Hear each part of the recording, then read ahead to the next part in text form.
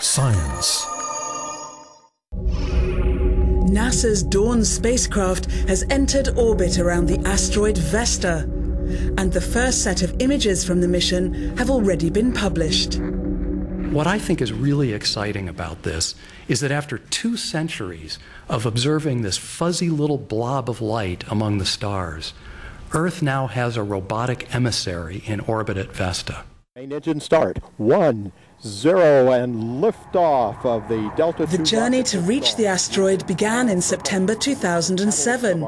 The asteroid is part of an asteroid belt between Mars and Jupiter, 2.8 billion kilometers away from Earth. The Dawn spacecraft will remain in orbit around Vesta for a year before moving on to another location.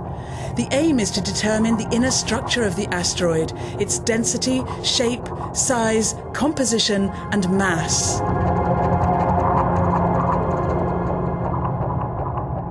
This is not a uniform body. Different things were happening in different regions of the uh, surface, uh, and that indicates to me that the interior was being very active. It was making this min mineral over here and making that over there and pumping it out onto the surface.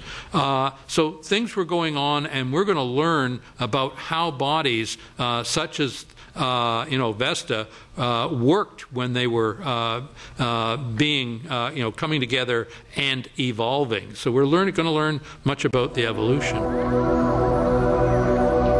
Next year, the Dawn will orbit the Ceres asteroid. Scientists hope that the data collected during these two orbits will help them understand how our solar system was formed.